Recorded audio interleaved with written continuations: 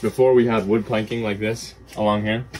We had to move it um, just because we moved where the barrel is and we moved where our exhaust is.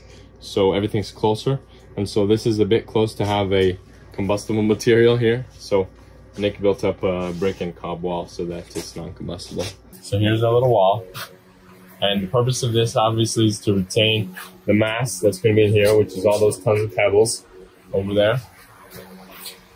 Paul likes this idea of having it kiss the barrel so that it heats up the chimney. When you have a hot chimney, it draws a lot of air. It's like a it's like a vacuum.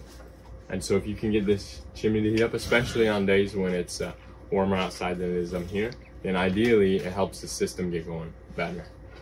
Our idea is it's going to be enough to kiss the barrel here, here that when we prime it, the riser, we're going to be getting a lot of heat to go to the chimney.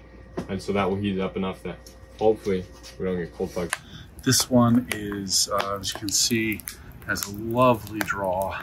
There's no smoke escaping. This is working really well. We've got great temperatures rising up through here and out. Absolutely nothing visible coming out of that.